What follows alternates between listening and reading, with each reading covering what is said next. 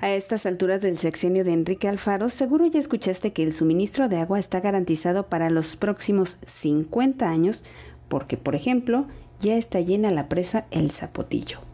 Otro anuncio es este, que a final de septiembre va a operar la planta potabilizadora número 5 que va a dotar de agua a Tlajumulco de Zúñiga. Hasta aquí todo suena bien, solo hay que tomar en cuenta algunos aspectos.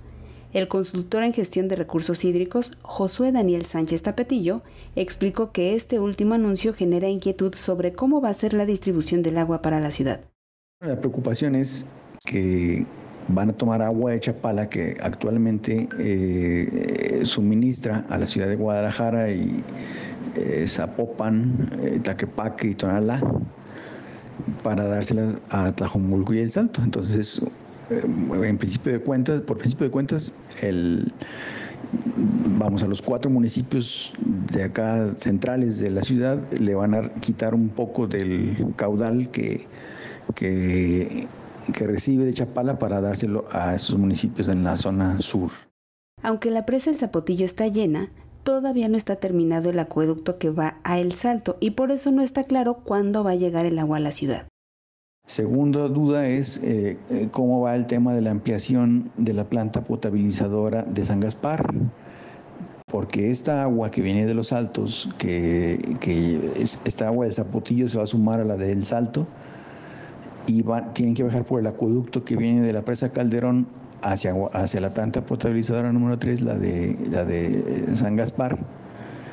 y em, ahí se tiene que darle, se le tiene que dar el tratamiento para potabilizarla.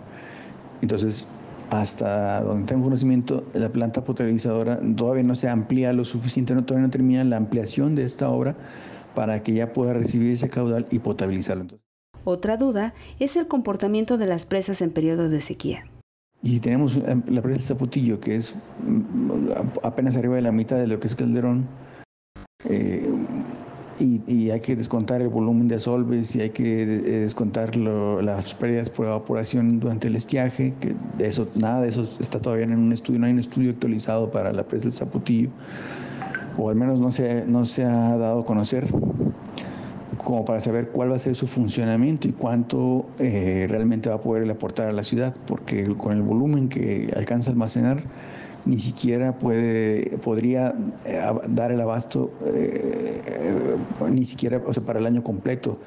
Nada más daría abasto para un periodo de alrededor, de 270 días, eh, incluso menos, descontando asolves y descontando evaporación. Por eso dijo que no se puede afirmar con toda confianza dejar de contar con volumen que viene de Chapala para dejárselo a los municipios de la zona sur. UDGTV Canal 44, Elizabeth Ortiz.